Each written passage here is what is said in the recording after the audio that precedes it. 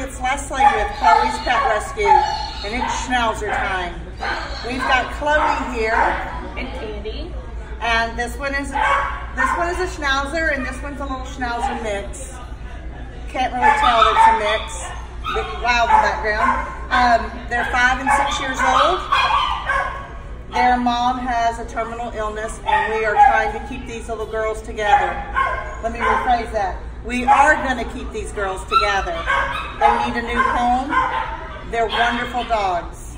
They're house trained. Um. They're, they've been together their whole life and been well, well cared for and have a long, healthy life left ahead of them for a new family. So we'd like to get them placed as soon as possible so that their, their mom right now has peace of mind. So put in your application today for Candy and Chloe.